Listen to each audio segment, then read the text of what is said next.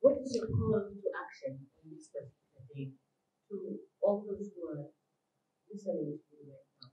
Well, I, I think the, the call of action for us, which is in line with, with the theme of, um, uh, of, of International Women's Day, the global theme is for um, achieving gender equality and the empowerment of all women and girls in the context of climate change, environment, disaster risk reduction, and policy. Our call of action is to ensure that every effort that we make to support gender equality and women's empowerment, that we take into account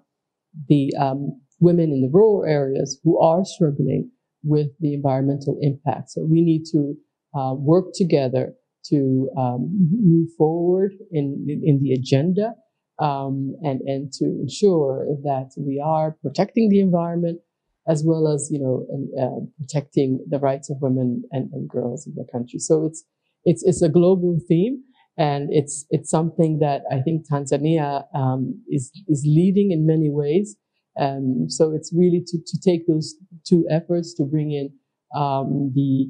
um, environmentalists uh, and the feminists